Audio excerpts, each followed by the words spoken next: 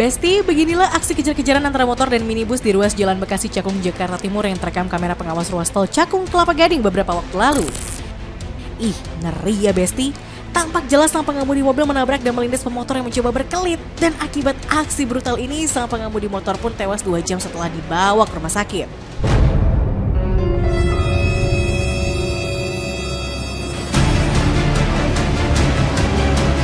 Besti tak butuh waktu lama, polisi berhasil membekuk sang pengemudi minibus di rumah orang tuanya di kawasan Harapan Indah, Bekasi. Kendaraan maut pelaku pun turut disita sebagai barang bukti.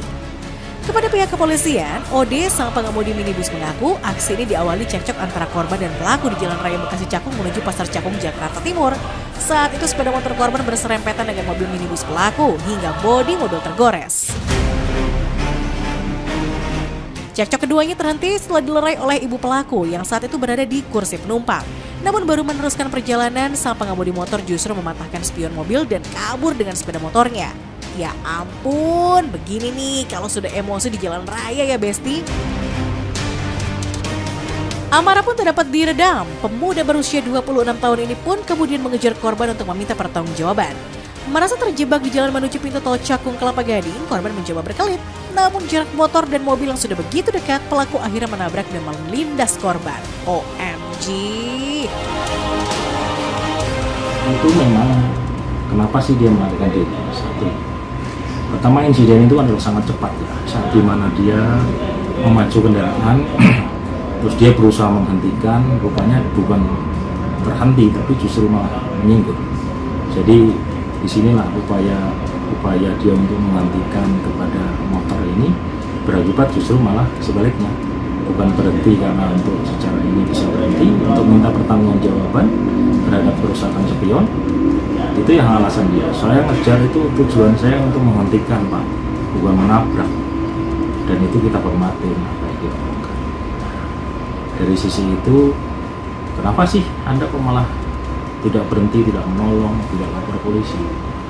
Dia memang tidak berhenti, dia tidak menolong korban. Tapi secara ini, setelah habis kejadian itu dia balik ke TKP, naik motor untuk mengecek beberapa ini. Dia mau menyerahkan diri ke Polsek Cakung, takut.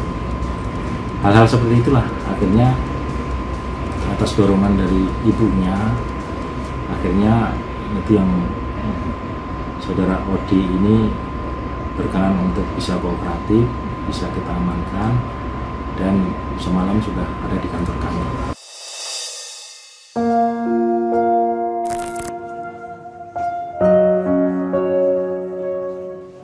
Besti, mirisnya lagi, antara pelaku dan korban ternyata sama-sama tinggal di komplek perumahan Harapan Indah Bekasi. Namun beda blok dan keduanya tidak saling kenal satu sama lain. Ya ampun, saat ini Satlantas Jakarta Timur telah menetapkan OD sebagai tersangka.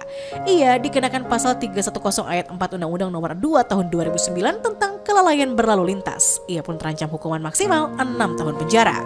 Sementara jenazah korban disemayamkan di rumah duka Taman Harapan Baru, Medan Satria, Kota Bekasi, Jawa Barat. Sejumlah karangan bunga, keluarga dan kerabat terus berdatangan guna memberikan doa.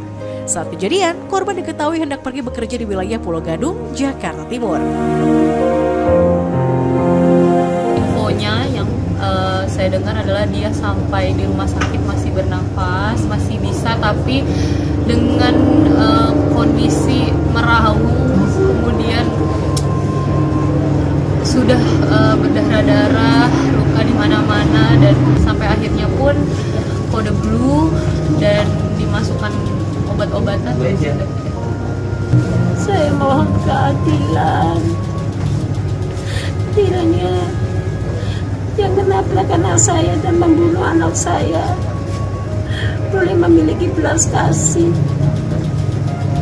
untuk bertanggung jawab itu saja. Saya tidak punya niat jahat tapi bertanggung jawablah punya hati nuranilah.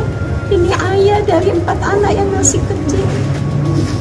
Mohon kiranya engkau memiliki kesadaran sebagai sesama umat manusia